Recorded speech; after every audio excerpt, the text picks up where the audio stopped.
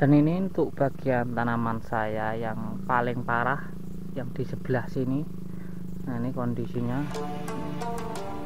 Daunnya tinggal pucuknya sampai pucuk itu terserang virus karena kutu. Ini kondisinya. Kita lihat bersama-sama. Nah itu sambung pucuknya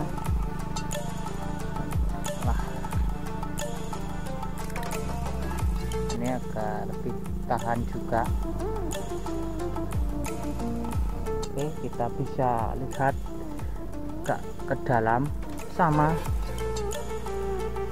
Ini yang disebabkan dari tanaman tua itu penyebabnya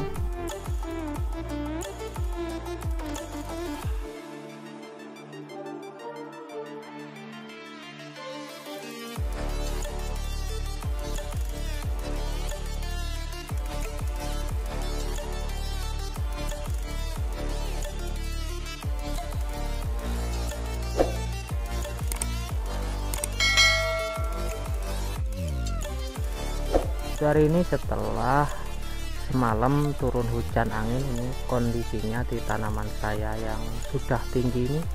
Nah ini daunnya. Karena terpaan angin hujan ini sampai pada rantingnya pada gogrok pada patah-patah seperti ini kita bisa lihat kondisinya. Nah ini, ini yang di jarak tanam 2 meter kali 85 Oke di sebelah ini yang tanaman sistem stek tidur saya. Nah di depan itu itu saya lagi melakukan penyemprotan.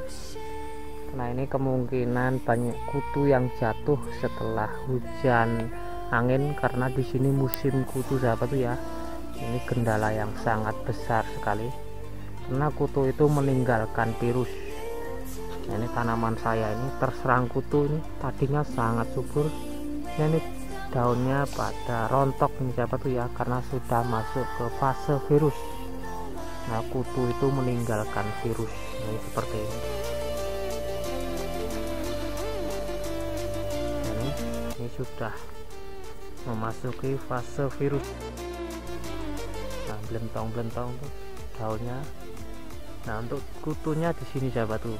Nah di bawah daunnya ini ini belum sama sekali belum saya lakukan penyemprotan karena kondisi kesibukan-kesibukan yang lain. Nah ternyata eh, yang atas terserang kutu dia tunas di samping di bawah. Yang ini sudah parah yang sudah hitam-hitam seperti ini.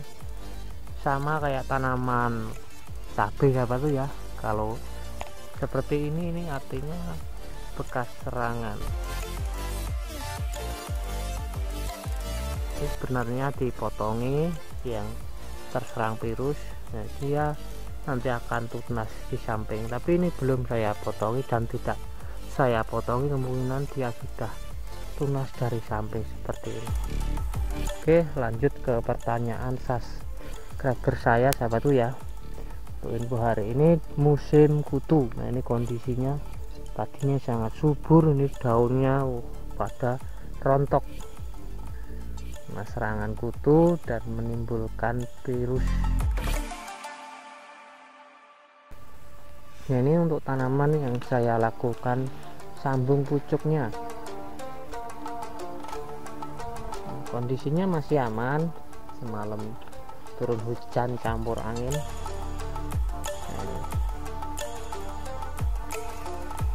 Masih aman sahabat ya.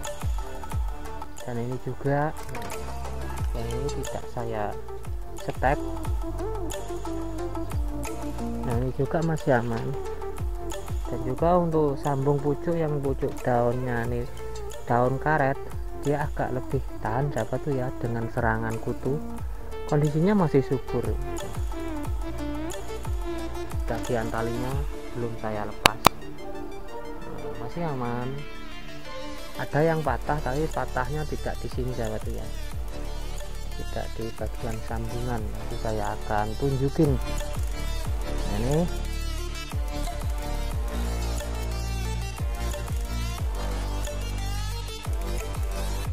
Itu menyerang sebenarnya awalnya dari tanaman tua saya ya. Dari tanaman tua saya ini. Dia menular ke tanaman yang muda. Kutu itu cenderung suka tanaman yang sangat subur untuk tanaman saya yang suburnya enggak terlalu subur malah aman tidak ada serangan kutu. Nah ini yang sampai daunnya habis juga. Untuk sambung pucuknya karena serangan kutu. Jadi dia mau tumbuh lagi yang seperti ini. Ini sebenarnya lebih baik disemprot tapi ya supaya kutunya itu terbasmi bisa berkurang jauh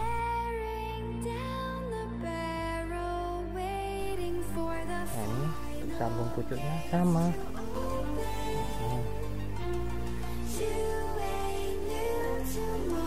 Untuk akhir-akhir ini sudah mulai berkurang kutunya.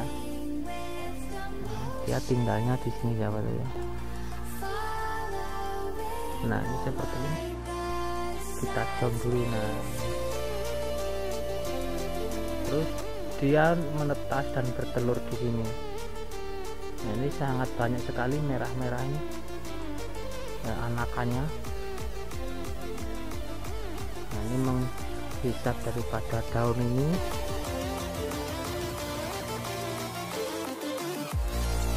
Nah ini seperti ini. Seperti ini ya ini untuk jenis singkong celeng atau singkong garuda singkong makan. Kalau untuk jenis singkong jenis Thailand merah Thailand putih untuk di musim ini agak sedikit aman.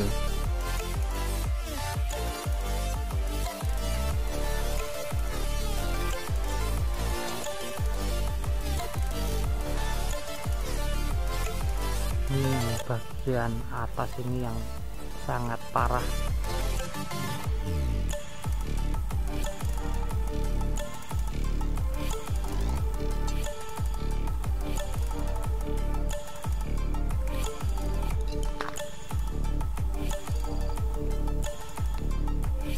Oke sahabatku ya untuk info hari ini like komen subscribe nya tombol loncengnya semoga bermanfaat untuk sahabat-sahabatku semua.